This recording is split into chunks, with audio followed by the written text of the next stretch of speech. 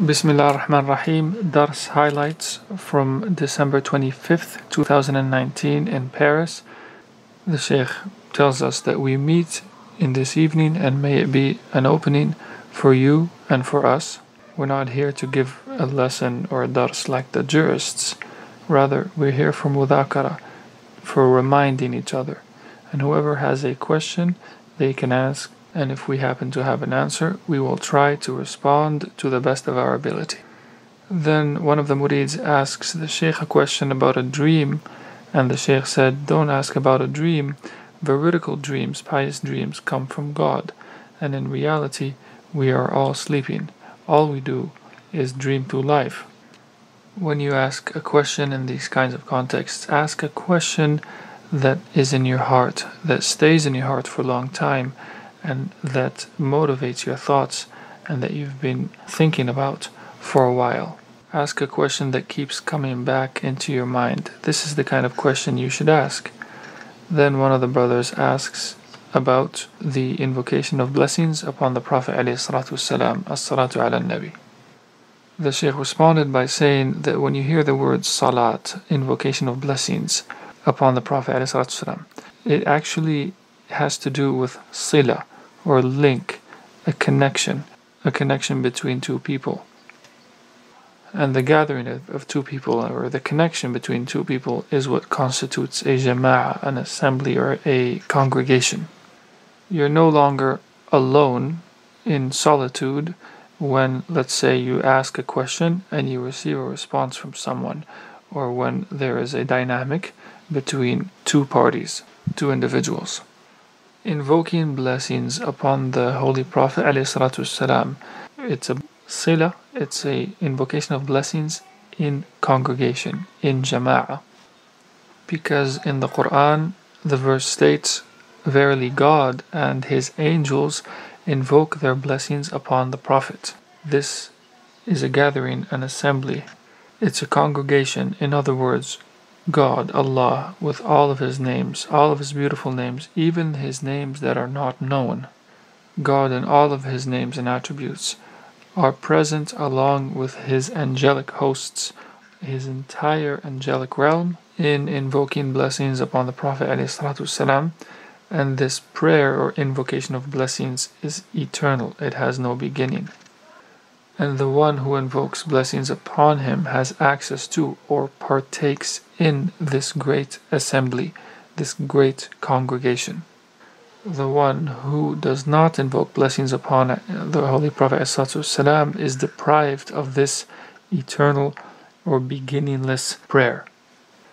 In contrast, the one who invokes blessing upon the Prophet ﷺ partakes in this invocation or this connection, this sila, which has no beginning and no end. When God says, In Allah wa malaikatahu, it means that He is present in His essence, the entirety of His names and His angels, and they invoke blessings upon the best of creation, والسلام. And the command to invoke blessings upon him والسلام, is directed to the believer, al-mu'min, Ya ayyuhalladhina amanu, O you who believe. This is not an invocation of blessings or an invitation to an invocation for the common submitter, for the Muslim. It's for the mu'min, the believer. Had Allah said, O mankind, or O submitters, O Muslims, invoke blessings upon him. All of mankind, you, you'd see all of Muslims in a state of ecstasy and madness out on the streets. But the verse in question addresses the station of the believer, Al Iman. Who are these believers? From the perspective of the innate human disposition, when you ask someone about faith, they point to their heart. And the Prophet, ﷺ, when he wished to describe faith, he said, It is a light that God casts into the heart of his pious servant it goes up and down or increases and decreases with pious acts, pious deeds. And in another hadith where the Prophet ﷺ says, if you see your brother walk into the mosque five times a day, or if you see him praying five times a day, testify to his faith. bear witness that he is a believer. This is all with respect to the exterior. As for the interior, the non manifest, God knows. Only God knows the reality of faith, of Iman. As for those who refuse to invoke blessings upon the Prophet ﷺ, let's say when he's invoked in a dhikr circle, these are just testifying to their lack of faith, the lack of faith in their hearts. A, a heart full of faith, it suffices for that heart to hear or be exposed to the name of the Prophet ﷺ for them to invoke blessings upon him. Or as the hadith puts it, only the bakhil or the stingy one refuses to send blessings upon the Prophet ﷺ when his name is mentioned. God is with us in every moment and in every place, but we are not with him in every moment and every place because we're absent from his presence. We're only present with God in the heart of the prayer which means that in reality we only connect to our Lord through these encumbering or heavy acts of worship that are imposed upon us. In contrast, He is with us through His essence, attributes, and names at all time and place. In this context, God says, We shall show them our signs in the heavens and in themselves. Do they not see? When you invoke blessings upon the Prophet you find yourself in the assembly of the angels your very breath becomes the breath of the Prophet because at that moment you extinguish yourself in his custom and his sunnah. This then is the true invocation of blessings upon the Prophet. Ya ayyuhalladhina amanu, O you who believe, invoke your blessings upon him. And the Shaykh insists on or emphasizes the word sallu in the plural. It's a command, an imperative in the plural, not salli but sallu. This here is a response to those who consider group dhikr to be forbidden. Sallu alayhi, O you who believe, invoke your blessings upon him, send blessings upon him. This implies the congregation, the group, the assembly of blessings upon him, the assembly of those who come together to bless him. The station of Islam, of submission, is summarized by the hadith Pray as you see me pray. Sallu kama ra'aytumuni usalli whereas the station of Iman, of faith, is encapsulated by this prayer. Ya ayyuhalladhina amanu, O you who believe, sallu alayhi wa taslima. Send your blessings of invocation, or send invoke your blessings upon him, and send your greetings or salutations of peace. In a congregation, in a group, we don't send our blessings upon him just to relieve our own worries and our problems, the way some do, who would say, send X number of blessings upon him, and you'll have less anxiety and so on. In reality, Salat ala Nabi والسلام, is a love, it's a passion, it's a breath, because your breath becomes his breath. And there are many verses that point to this.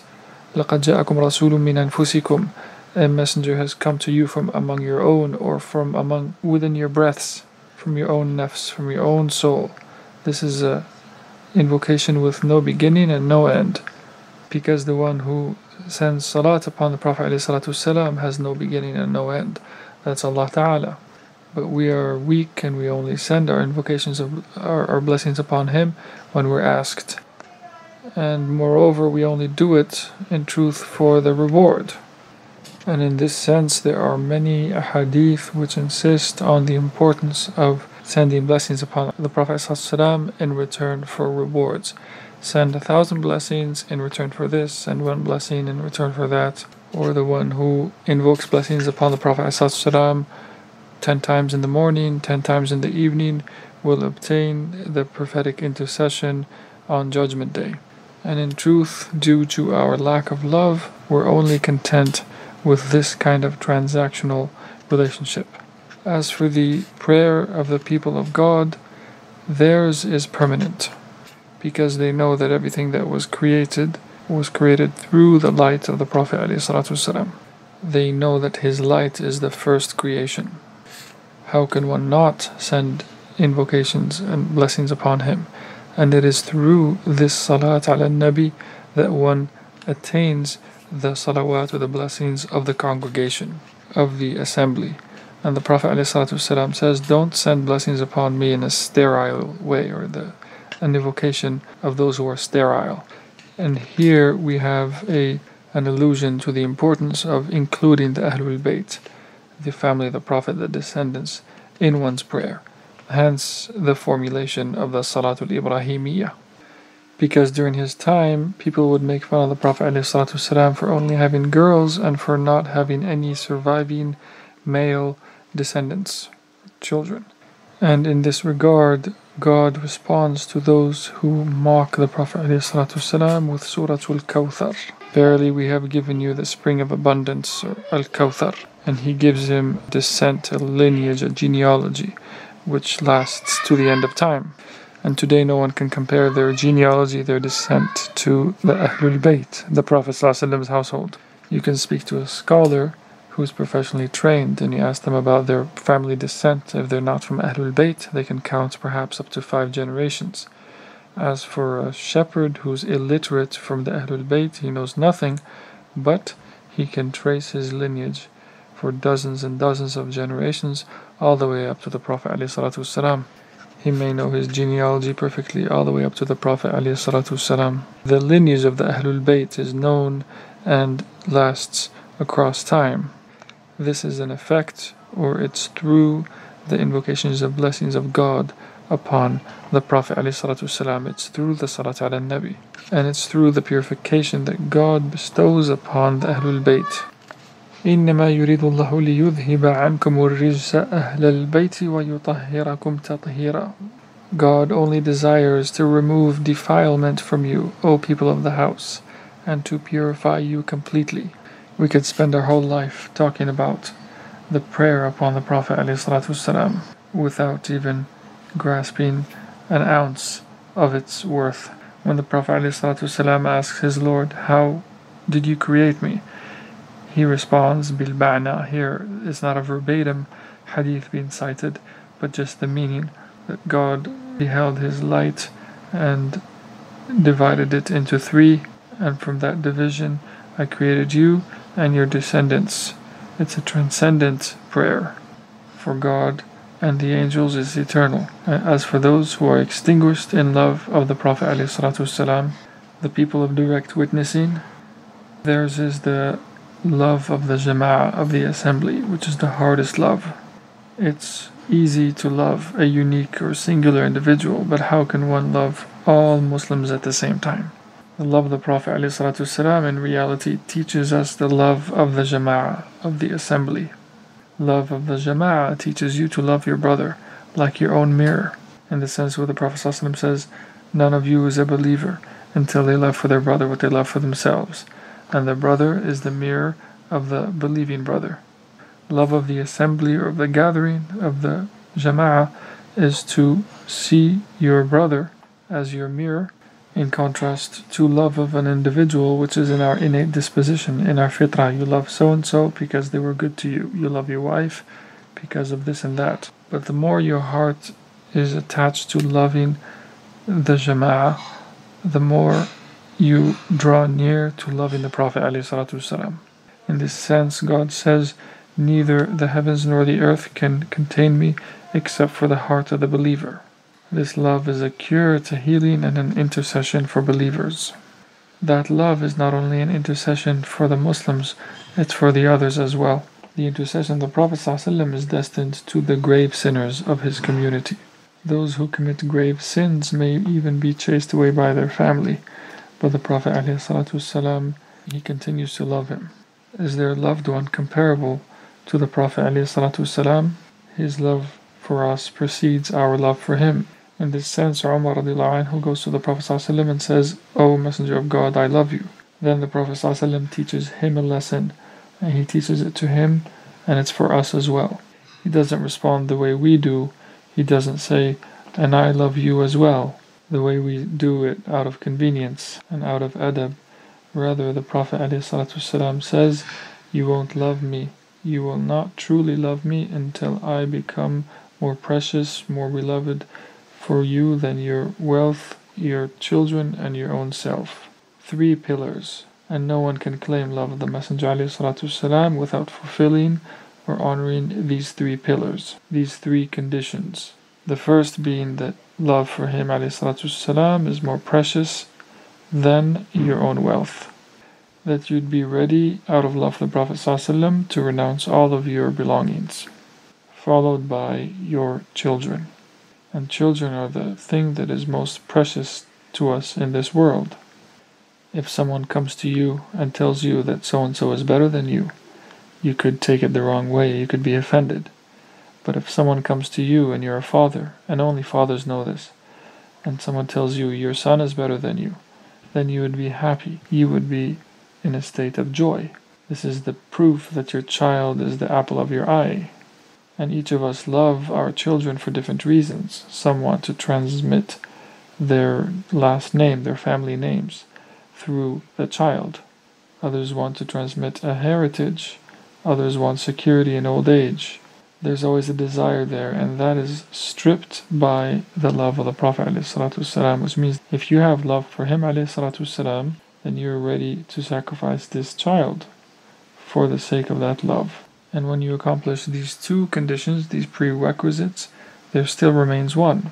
You're not even a believer yet. You should know that you're not yet a believer because the third pillar comes your own selfhood, yourself that the Prophet ﷺ becomes more precious to you than your own self. You're ready to sacrifice your whole life for him and for his descendants, Ahlul Bayt.